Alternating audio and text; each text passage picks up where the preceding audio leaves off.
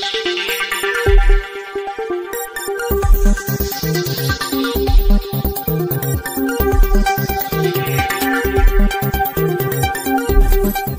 राजपूत महासभा के पदाधिकारियों ने राजाखेड़ा के डागर में महाराणा प्रताप की मूर्ति अनावरण को लेकर किया संपर्क। राजपूत सभा सरमथुरा को सौंपा आमंत्रण पत्र। उपखंड में सोमवार को राजपूत महासभा के पदाधिकारियों ने राजाखेड़ा के गाँव नागर में महाराणा प्रताप जयंती के अवसर पर आयोजित विशाल मूर्ति अनावरण व वाहन रैली कार्यक्रम के लिए सरमथुरा में आमंत्रण पत्र सौंपते हुए कार्यक्रम में अधिक से अधिक भाग लेने की अपील की। इस दौरान भोला सिंह जादौन, कप्तान सिंह ददरौनी, सोमू सिंह, शंकर सिंह आदि लोग मौके पर उपस्थित रहे।